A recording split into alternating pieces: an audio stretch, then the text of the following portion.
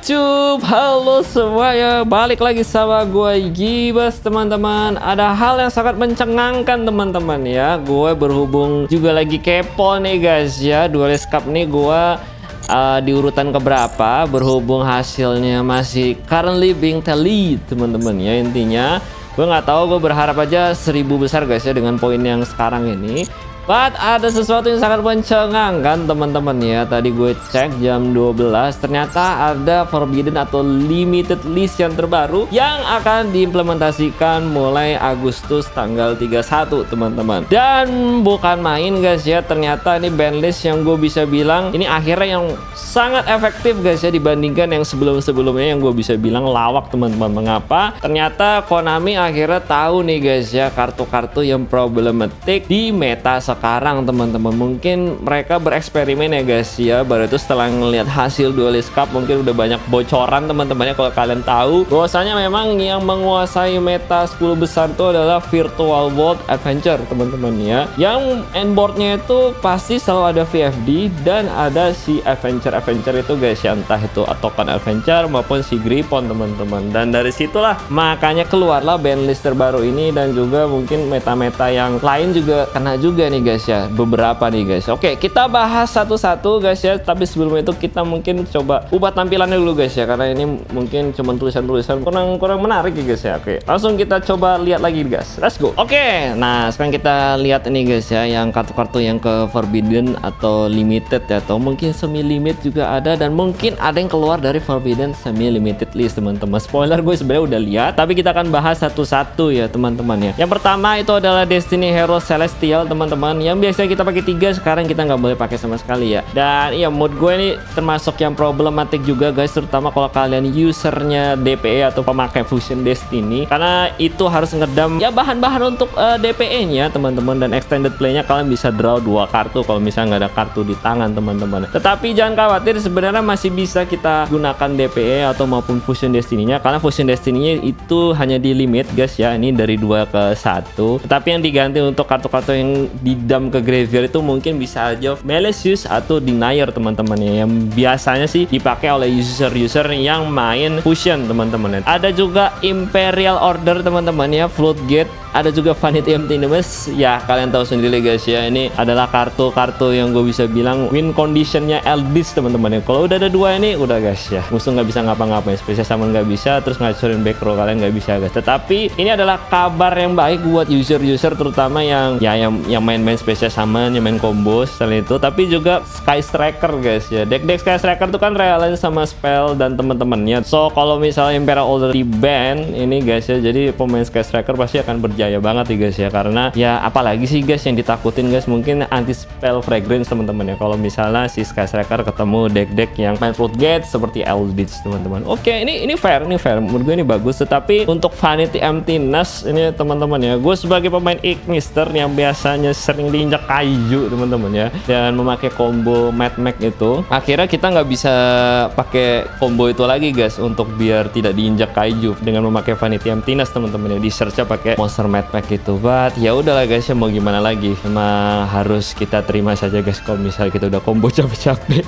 Ternyata diinjek kaiju karena tuh udah nggak ada vanity emptiness lagi guys. Next kemudian ini ada bamboo ring gosip shadow teman-teman. Nah ini nih yang sesi di mana ini yang yang menurut gue menarik dan memang harus masuk ke forbidden limited list yang sekarang teman-teman. Ring gosip shadow selain dipakai di deck ronggo untuk material juga bisa dipakai di deck VW teman-teman. Mengapa? Karena VW itu kalau misalnya tidak ada ya proteksinya lah guys ya dari ini biru. Jadinya ya kombonya pasti akan uh, langsung stop gitu. Tapi sekarang ini selain proteksi dari adventure teman-teman ya dari si Gripon itu juga ada namanya Bamboo Ring Gusip Shadow ini. Karena dia cuma butuh dua level 3 monster ya. Level level 3 monster yang di deck VW ya kalian bisa hitung lah guys ya. Banyak guys ya. Ada Nyanyan sama si Lily atau Gigi ya teman-teman. So ya bisa ngeproteksi uh, kombonya. Dan foilnya nanti langsung bisa keluar Calamity tanpa perlu khawatir ada biru teman-teman. So ya ini adalah combo yang gue bisa bilang sepaket nih guys ya. Bisa memproteksi ya permainan VW dan ya itu sangat-sangat nggak fair sekali di meta sekarang. Karena juga ada adventure teman-teman. So ya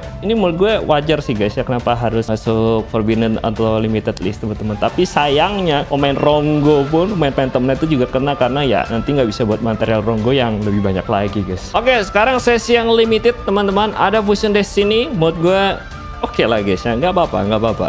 Karena sejujurnya memang di meta sekarang itu ya akan selalu keluar DP DP itu guys. Dan mungkin dengan ngeband Celestial kemudian ngelimit Fusion Destiny harapannya orang-orang itu tidak memakai DP guys. Namun Masalahnya bukan Fusion Destiny atau mungkin uh, Garnet ya teman-teman. Masalahnya itu adalah di VRT-nya. Karena dengan adanya VRT itu semua deck bisa memakai si Fusion Destiny ini dan Voila keluarin DPE-nya teman-teman. Tapi gue nggak tahu nih guys ya pikiran Konami seperti apa. Mengapa VRT justru malah yang nggak di ban atau ya diapa-apakan lah guys ya. Mungkin saja, mungkin saja ya guys ya VRT itu baru akan kena ban setelah deck-deck Fusion yang nanti keluar yang lebih GG itu contohnya misalnya nanti kita akan menunggu lagi branded Despia teman-teman. So gue rasa mungkin timingnya akan tepat setelah branded Despia akan keluar guys ya. Atau mungkin ya setelah selang beberapa lama branded Despia muncul dan optimal barulah Verte itu di oke okay, guys. Kemudian yang next ada Pot of Prosperity. Nah ini guys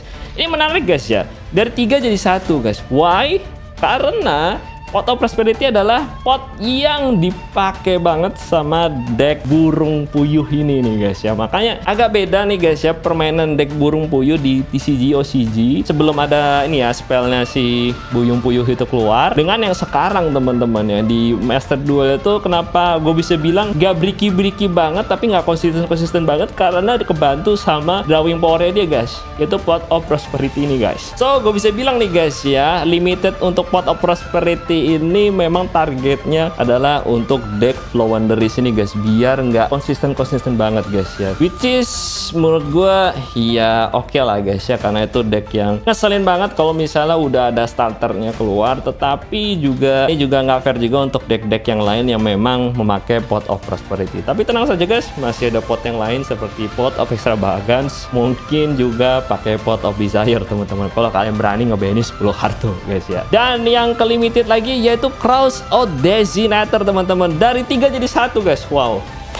ini menarik nih guys. Why, why, why? Karena dengan cross out destinator jadi satu, kalian nggak bisa nge-cross out kartu cross out destinator yang ada di deck kalian yang biasanya kita main counter-counter hand trap. Dengan begini, chain terakhirnya itu adalah di cross out destinator itu sendiri guys ya. Kalau misalnya nanti ada permainan chain chain link chain link counter hand trap teman-teman. But that's fine guys ya. Tapi memang dengan adanya cross out destinator jadi satu inilah juga mungkin akan membuat deck-deck combo akan lebih leluasa mainnya guys ya karena hand trapnya untuk mengcounter atau mendistruksi combo itu berkurang juga guys. Dari tiga jadi satu. But that's fine guys. Tapi gue ngerasa kayaknya memang Konami melihat selama deck-deck combo itu harus ngelawan hand trap hand trap seperti Maxi dan teman-temannya yang di TCG atau di OCG itu. Ini ya ke limit atau ke semi limit atau bahkan di ban. Mode gue sih ya fine fine aja guys ya. Dan yang kemudian yang terakhir di sesi limit ada Prankets Miu Miu guys. Oke okay. Miu Miu Ilmu sudah ya sudah kita prediksi guys ya ini Rankis itu pasti akan kena target guys karena memang Rankis itu adalah deck meta yang menurut gue konsisten dengan one card kombonya teman-teman. Namun dengan di limit ini menurut gue nggak begitu ini guys ya sakit guys ya dibandingkan kalau kalian lihat di TCG bener-bener di ban si Mimimunya nggak bisa dipakai sama sekali which is deck Rankis udah guys mati guys karena nggak ada link satunya. Tapi dari sisi gue kalau ngeliat di Master 2 duel guys ya di limited ini menurut gue masih playable. Tapi gue nggak tahu apakah nasibnya sama dengan kayak deck Drayton yang bentennya pada saat kemarin juga itu kena limit juga guys. Which is mungkin orang-orang jadi oh, udahlah karena kena limit ninya guys ya kartu core-nya seperti benten atau misalnya Mimimu mungkin orang nggak begitu banyak yang akan memakai prank kids who knows guys ya. Tetapi tetap bisa playable. Kita akan lihat nanti metanya selanjutnya kayak gimana guys dengan adanya limitnya si Mimimu dan teman-temannya yang lain di Forbidden guys seperti VFD. Dan yang ke semi limit teman-teman, oke okay, kita lihat ini ada Alter Gaze Multifaker dari satu jadi dua guys. Menurut gue jujur ini akan memberikan sesuatu yang fresh ya, refreshment yang baru guys ya. Karena kalau kalian lihat nih guys ya, ternyata Alter Gaze itu gue bisa bilang masih bisa bersaing di meta yang sekarang teman-teman. Contohnya mungkin di TCG teman-teman ya. Kalian lihat baru-baru ini di Europe Championship teman-teman kemarin di top 4-nya ada yang pakai Alter Gaze teman-teman walaupun memang di Altergeist-nya itu ada Mystic Mine tetapi ini yang memberikan wajah baru nanti refreshment apakah Altergeist itu mulai akan bangkit. Termasuk juga ada Salamangreat Gazelle yang dari satu jadi dua teman-teman. Ini juga refreshment yang baru gue nggak tahu apakah orang-orang akan prefer main Salamangreat dan Altergeist setelah mungkin core-core-nya dinaikkan ya guys ya. Jadi 9 limit guys ya. Bonus nanti kita akan lihat teman-teman. Tapi kalau kalian yang mau build Salamangreat gue saranin teman-teman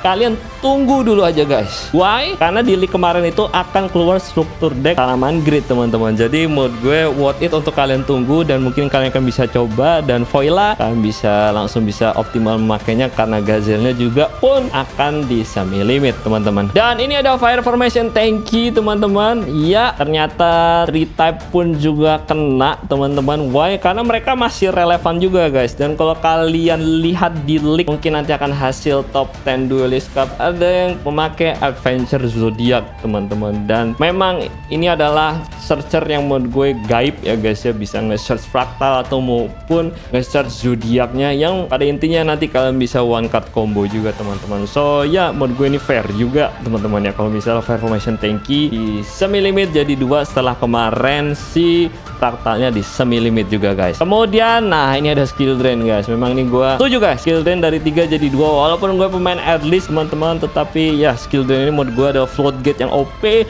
terutama di BO1 kalau kalian draw ini di first turn dan kemudian kalian open sudah guys musuh mau main apa kecuali mungkin musuh main deck-deck yang enggak terlalu ini guys yang memakai efek yang ada di face up ya. Seperti misal di virtual world maupun di prank kids teman-teman. Dan yang terakhir ini ada Nike Azailan teman-teman ya oke okay, guys. Menurut gue oke oke aja guys ya karena ini akhirnya ke unlimited dari satu jadi tiga. Dan di meta sekarang menurut gue agak susah sih guys ya main flip flipan kecuali kalian main sub terror tapi who knows siapa tahu ada orang yang bisa nge-abuse dan membuat komponen assailant nanti kita akan lihat di metanya guys. Oke okay.